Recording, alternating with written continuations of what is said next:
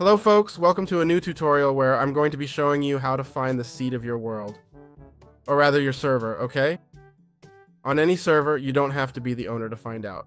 So with no further ado, let's hit escape. We're going to settings. Now in this case I am on the Eyeball. The worst Minecraft Bedrock server, we're going to scroll down. And where the seed of the world is usually found, there we find the seed of our server, okay? In this case, at least one. For Google Crafted, zero, whatever. Usually these seeds are given because to create this type of world, an empty world is typically used, okay? That is one where there is absolutely nothing. And the seed is simply set as zero, so that, I guess so people don't copy the seed. Well, this works in any type of place, except in the realms that have their own way of doing it. Well, this wouldn't be covered in this video, but surely in one that you have on the right or left right now. So I bid you farewell, bye bye.